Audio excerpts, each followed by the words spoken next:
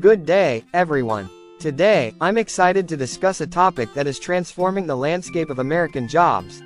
How small businesses are truly changing the game.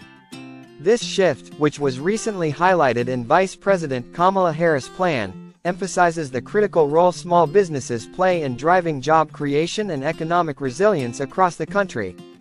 Small businesses have always been the backbone of the American economy, but their importance has become even more pronounced in recent years. Vice President Harris' strategy puts a strong focus on supporting these businesses, especially those in the manufacturing sector, as they are essential to revitalizing local economies and bringing jobs back to the U. One key aspect of this plan is providing incentives for small businesses that commit to reshoring jobs and investing in local communities. This is crucial because small enterprises often have a deeper connection to their local labor markets, offering jobs that are more accessible and tailored to the community's needs. By giving these businesses the resources they need to thrive, the administration hopes to create a ripple effect that leads to sustained job growth nationwide.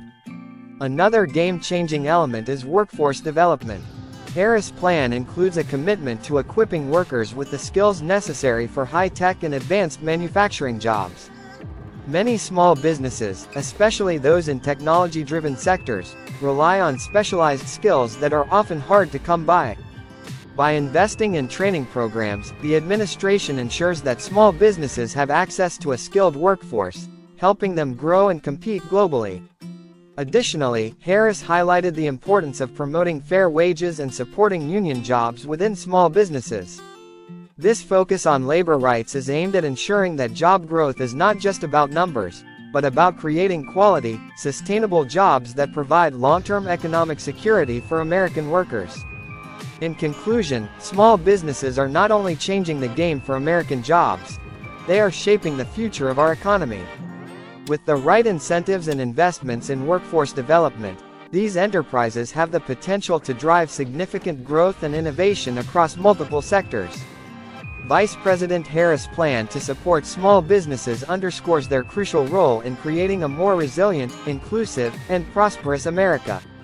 We are witnessing a pivotal moment where small businesses, with the right support, will lead the way in transforming the U. job market and ensuring a more secure economic future.